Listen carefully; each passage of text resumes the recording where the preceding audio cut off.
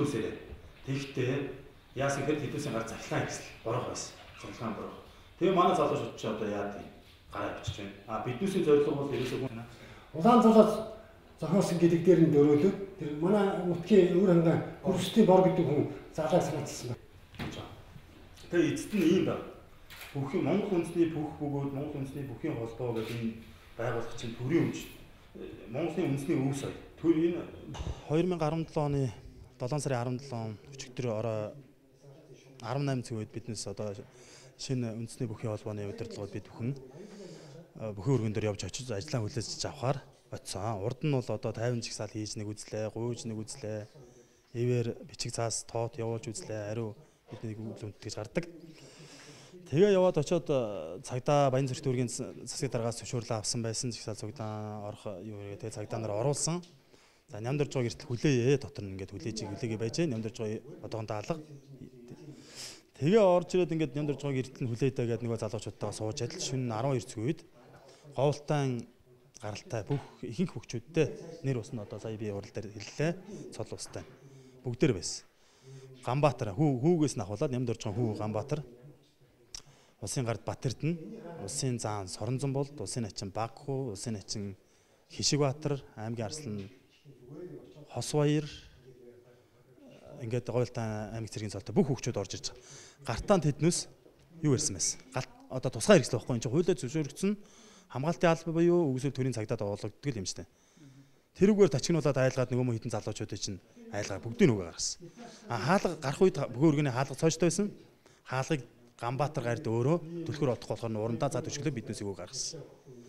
Нөгөө залуучуудыг. За тэг гараад байж чадал а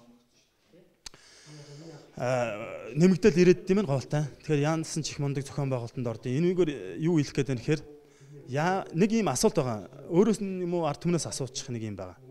Монгол бүхэн өргөөч нь энэ нэгэн аймгийн юм уу нэгэн аймгийн дотроо нэг гэр бүлийн юм уу? Энэ дунд одоо Нямдарж гэдэг хүн байна, төрсөн хүн байна төрсөн дүүгийнх нь хүү одоо амаа бямдуржийн ах лавгдорж начин байна. Үлзэн өргөд начингийн төрсөн дүүтэй нямдурж байгаа төрсөн дүүтэй суусан үлзэн начин байж. Авгаатагаа суудсан бичлэг хийгээд машин дотор ингээ манаа сууж.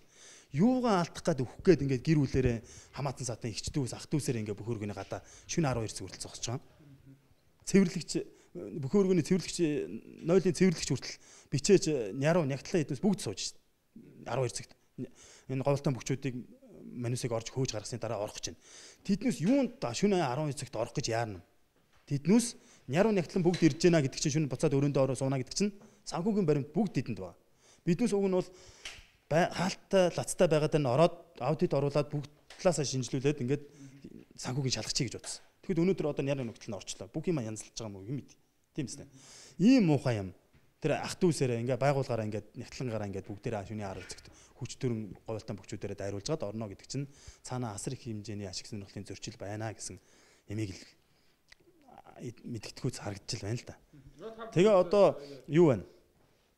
Бусад бөхчүүд дэмжих баха. Бусад би болохоор ингэж бодож байна л да.